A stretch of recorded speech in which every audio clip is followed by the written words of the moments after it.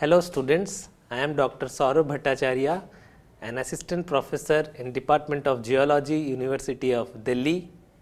I hope you are going through other modules on geology. Today we are going to discuss on drilling methods. After studying this module, you shall be able to understand the basic requirements and processes involved in drilling program of geochemical exploration. Also, you shall be able to develop a basic idea on various geological and economic factors critical to choose a drilling method. Introduction The process of making holes in the ground or rock is called drilling. Drilling is employed in mining and geological work for prospecting, exploration, blasting and related development processes. Drills are operated either manually or mechanically by means of compressed air, water under pressure, petrol engine, diesel engine, electricity, high temperature flames and rarely using steam. Based on principal methods involved, a number of techniques have been developed which are described below. First is auger drilling. Augers are truck mounted or handheld drills that have rods with spiral flights to carry soft material to the surface. Their main use is to sample placer deposits. Use of power augers is necessary for deep sampling in materials easily penetrable, particularly if pitting is not practicable. They are able to dig up to 30 meters of depths. However, truck mounted rigs are capable to reach up to 60 meters of depth. The diameters of holes varies from 5 to 15 centimeter. In soft ground, use of auger gives rapid results and sampling methods need to cope up with continuous flow of material to surface. One needs to be careful about cross contamination between samples. Since augers are light drills, they are incapable to penetrate either hard ground or boulders. Hence, heavier equipments are necessary for such rock material if one aims to drill up to greater depths. One of the disadvantages of auger drilling is poor quality of sampling with considerable mixing of materials from different levels of hole.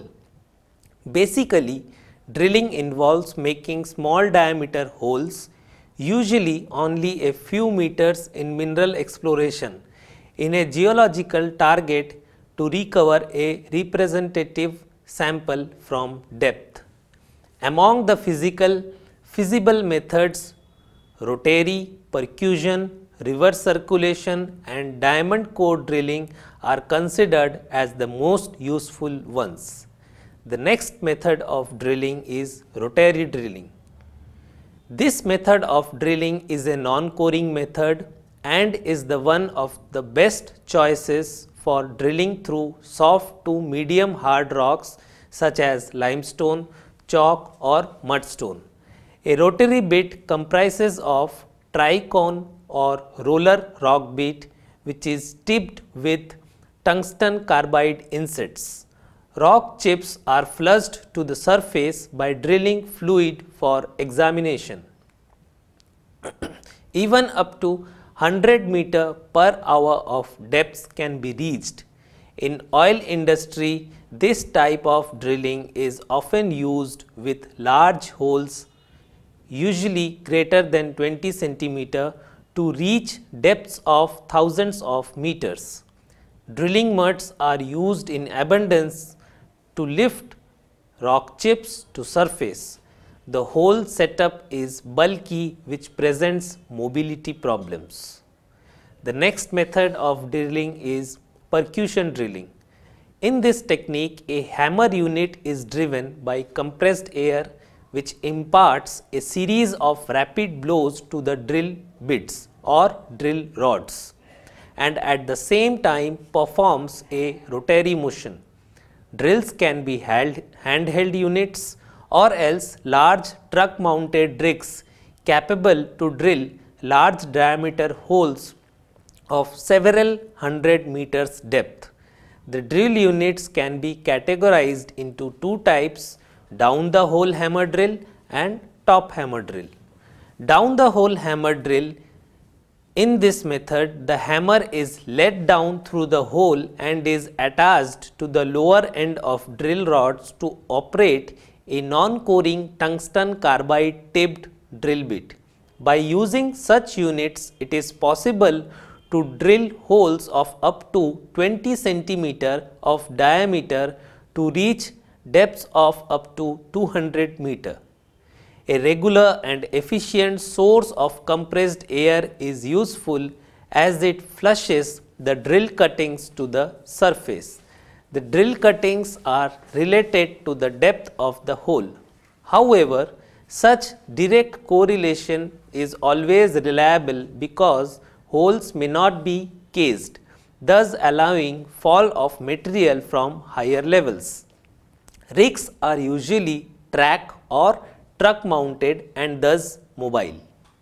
The next is top hammer drills.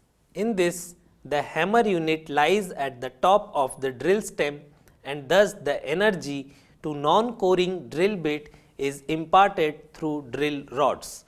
As compared to down the hole hammer drills, these are lighter units. For preparing holes of up to 10 centimeter of diameter, top drill hammers are useful, although are not feasible for depths greater than 100 meters. Use of light air compressors is common and hence depth of drilling is restricted, at times just a few meters below the water table the mounting of drill units is mostly on either light trucks or tractors. It should be noted that even if the percussion drilling methods are rapid and cheap, they are disadvantageous in terms of providing precise location of samples. However, cost of drilling is up to one half or one third of that for diamond drilling. Percussion drilling is particularly useful in evaluation of deposits that present sampling problems rather than geological ones, for example, a porphyry copper deposit. Due to rapid rate of penetration, 150 to 200 meters of drilling can be done in an 8 hour shift. Thus, several hundred samples can be collected each day with good penetration rates. Sample collection and examination need to be rapid and organized as each 1.5 meter of 10 centimeter diameter hole is likely to supply approximately 20 to 30 kg of rock chips. Similar to other compressed air machines, the whole operation is quite noisy. The next method of drilling is reverse circulation method. Since mid 70s reverse circulation technique is in used reverse circulation technique is in use and used for unconsolidated sediments for example alluvial deposits or for drilling rock. Air and water can be used to flush drill cuttings or cores.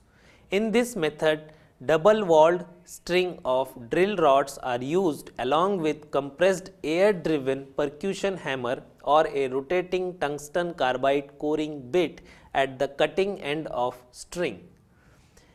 A fluid medium is supplied to cutting bit between twin walled drilling rods and it returns to surface through the center of rods. This method is advantageous over auger rotary or percussion drilling as the entire sample is collected. Also, the method is extremely quick with little possibilities of contamination. In comparison to other methods, reverse circulation is relatively expensive due to need of specialized rods, compressor and additional equipments. However, the high cost of operation is outweighed by higher quality of sample collection. The next method of drilling is diamond core drilling.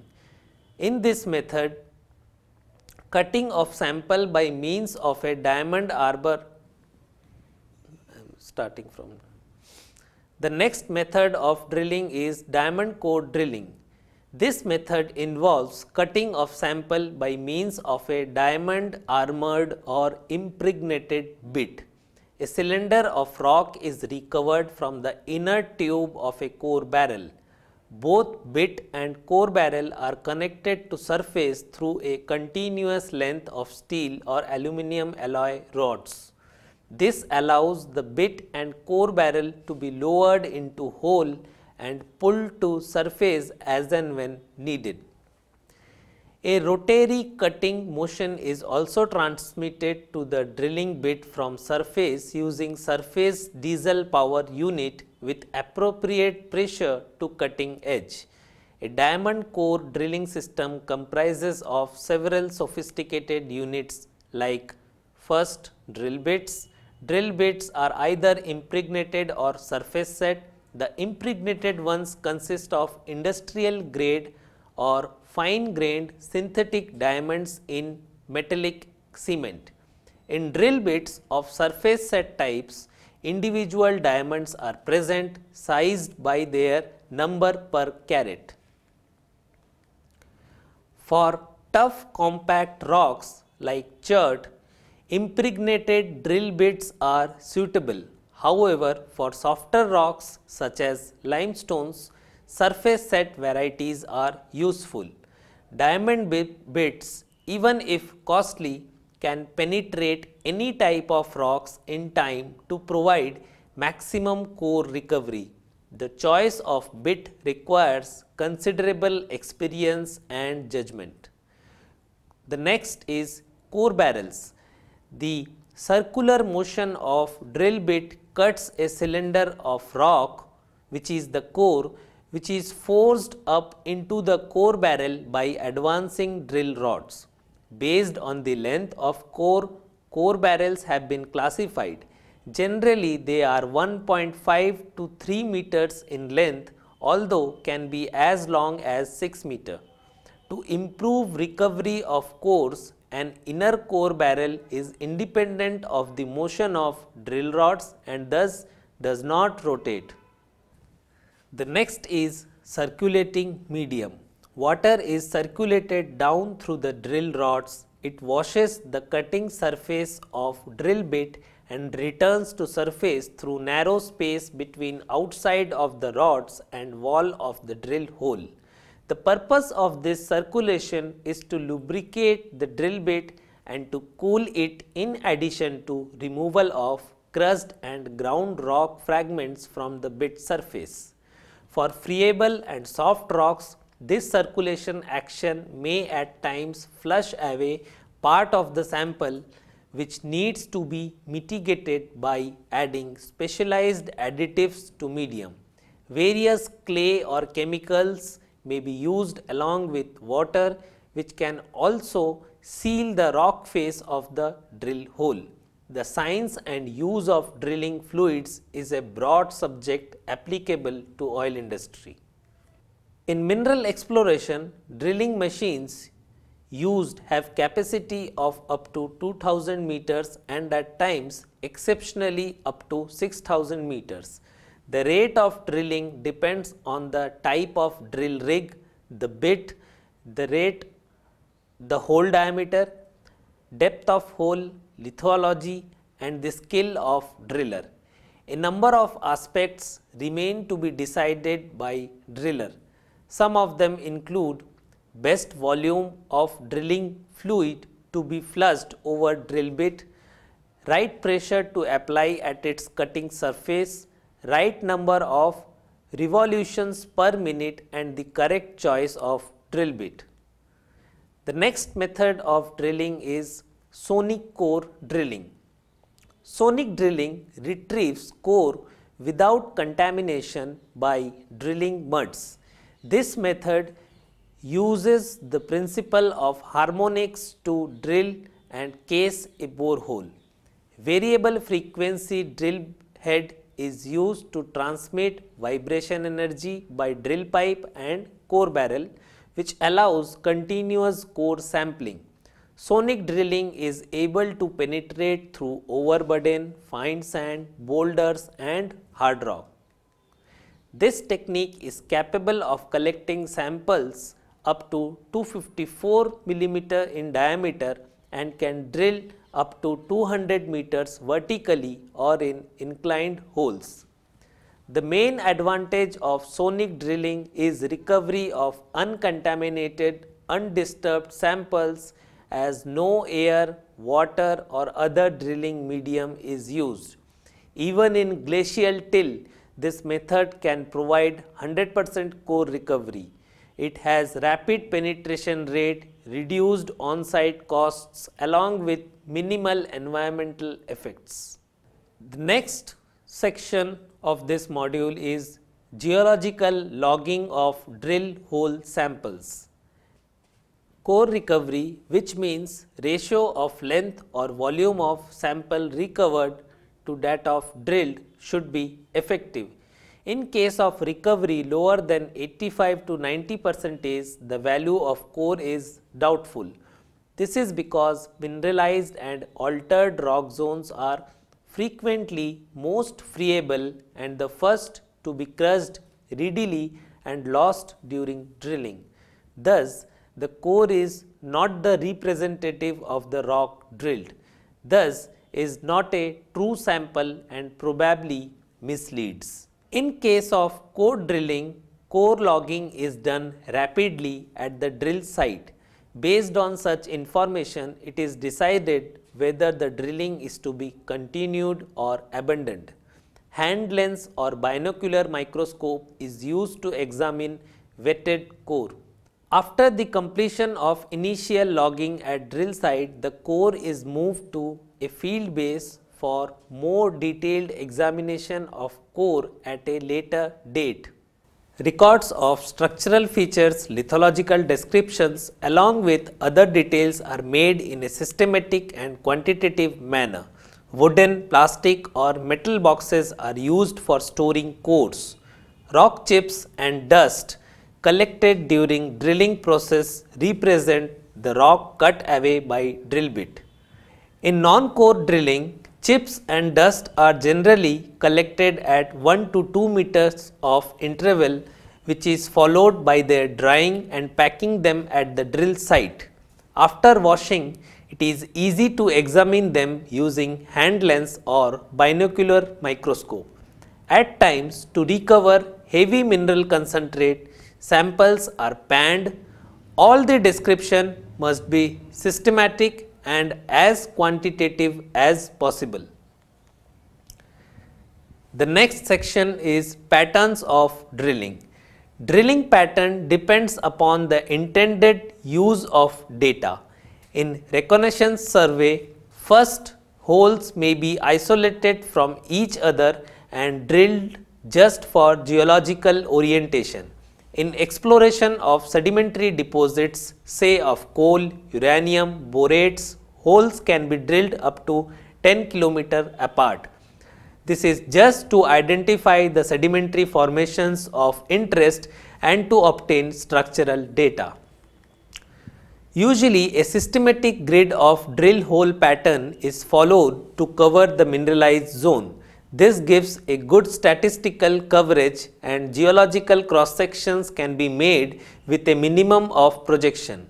The inclination of individual holes is critical and holes should be drilled at right angles to the expected average dip of mineralization. Before the drilling commences, it is highly recommended to draw a section along the projected length of drill hole. This section is modified as the hole progresses. It should be noted that drilling is an expensive and time consuming aspect of mineral exploration.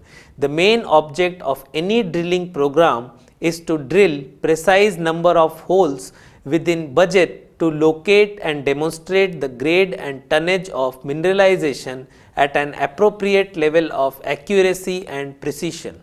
Now I summarize this module on drilling methods. Drilling is one of the important aspects of mineral exploration. It is a process of cutting through rocks or soils using a drill bit to enlarge a hole of circular cross section. The bit is rotated at rates from hundreds to thousands of revolutions per minute. The choice of drilling method depends on the task at hand. The most common techniques are rotary, percussion, reverse circulation and diamond core drilling. The main aim of any drilling exercise is good core recovery so as to recover the mineralized and altered rock zones. For non-core drilling, rock chips and dust collection is done. Careful logging is important in any type of drilling operation involving systematic and qualitative records of various geological parameters. The choice of number of drilling sites in any particular area depends upon the stage of exploration. In mineralized regions, it is necessary to follow a systematic grid of drill hole pattern. Drilling is an expensive part of exploration program although is necessary to constrain the location, grade and tonnage of any mineral deposit.